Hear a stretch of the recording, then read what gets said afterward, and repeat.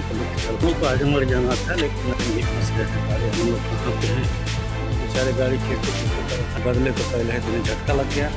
तो छटियाँ होके ये हुआ कि अजमतगढ़ होके चला गया। बताइए कैसे? गाड़ी का चक्कर